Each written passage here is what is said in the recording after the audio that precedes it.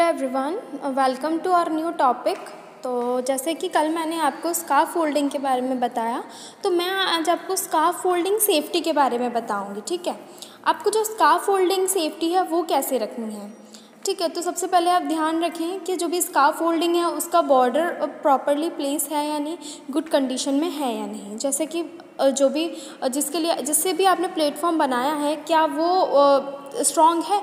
ऐसा तो नहीं, वो डैमेज कंडीशन में हो तो ये आपको चेक करना है। बॉर्डर स्ट्रॉन्ग है, उसका है नहीं, ठीक है?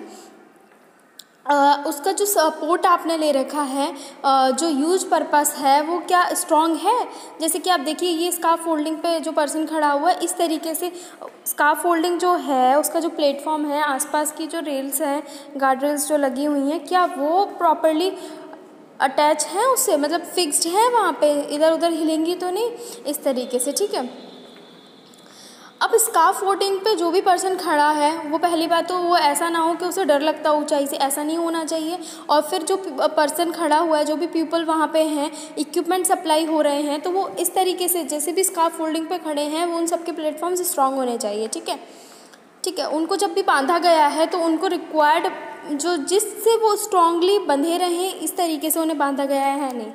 ठीक है गार्ड रेल्स जो भी हैं बॉर्डर्स जो है वो फ्रेमली है नहीं फ्रेम्स के अकॉर्डिंग है नहीं सेफ्टी हार्नेस यूज़ की जा रही है लाइफ लाइन यूज़ की जा रही है नहीं। ठीक है स्ट्रक्चर लेआउट कैसा है गार्ड रेल्स वगैरह स्ट्रक्चर्स के अकॉर्डिंग लगी हैं या नहीं?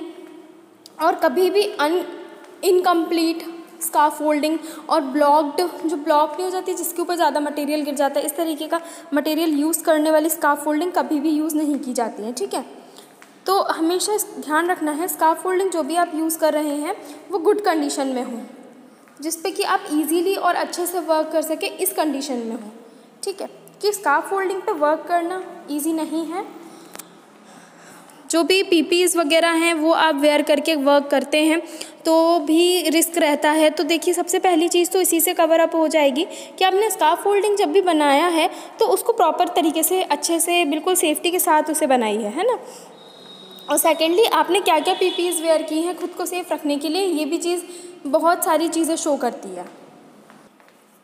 अब देखिए एक चीज़ और स्काफ फोल्डिंग की हाइट कैसी होनी चाहिए? तो स्काफ फोल्डिंग की हाइट जो है वो मोर देन फोर टाइम्स से ज़्यादा नहीं होनी चाहिए। ठीक है, उससे ज़्यादा अगर होती है तो उसके डायमेंशन उसके टाइज उसकी ब्रेसेस सारी चीज़ें कैसे यूज़ हो रही हैं? किस तरीके से फिटिंग की जा रही है? किस तरीके से सारा सेटअप किया जा रहा है? वो सारी चीज़ें हमें पता होना चाहिए। ठीक है, और मैक्सिमम हाइट की जो स्काफ फोल्डिंग अगर आप यूज़ कर रहे हैं थर्टी एट मीटर्स लॉन्ग अगर आप यूज़ कर रहे हैं, अगर आपको बहुत ज़्यादा ज़रूरत है हायर स्काफ फोल्डिंग की तो आपके जो भी कॉन्ट्रैक्टर है वहाँ पे। उसे एक डिज़ाइन सबमिट करना होगा जो कि स्पेशलाइज्ड थर्ड पार्टी कंपनी के द्वारा जो बनाया गया होगा अप्रूवल होगा इंजीनियरिंग इंजीनियर कंसल्टेंसी से डिज़ाइन किया हुआ होगा, वही स्काफ फोल्डिंग यूज़ की जाएगी। ठीक है? ऐसा नहीं है कि आप कोई भी स्काफ फोल्डिंग यूज़ कर लें। तो ये सारी चीज़ें आप तभी कर सकते हैं जब आपके पास वो अप्रूव्ड होगा, वो थर्ड पार्टी प्लान जो है। ठीक है, खुद से आप नहीं कर सकते हैं ज़्यादा हाइट की स्काफोल्डिंग यूज़ आपके पास पूरी अथॉरिटी के साथ वो सारी स्पेशलाइज्ड जो भी हैं, उनने डिज़ाइन किया है, उनके द्वारा अप्रूवल होना चाहिए, वो डिज़ाइन बना हुआ होना चाहिए तो ही आप उसे यूज़ कर सकते हैं।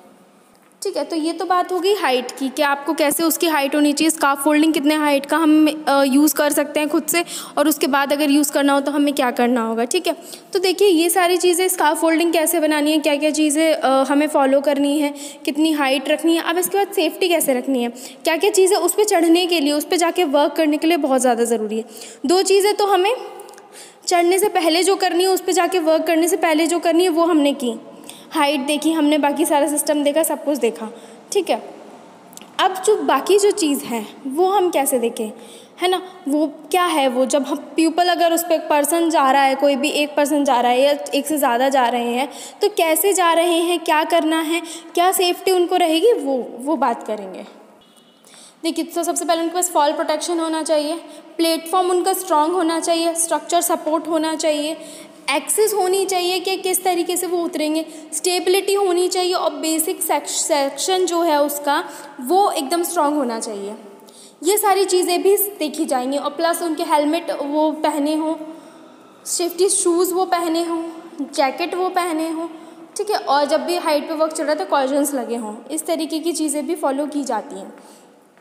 इससे ये पता चलता है कि स्काफ फोल्डिंग वर्क जो चल रहा है वो हम कितनी सेफली कर रहे हैं और हम खुद अपने वर्कर को कितना सेफ़ फील करा रहे हैं, ठीक है? जब तक वो सेफ़ नहीं रहेगा, तब तक हमारा वर्क भी रिस्की रहेगा। अगर वो सेफ़ है तो बहुत चांसेस है कि हमारा वर्क भी सेफली होगा।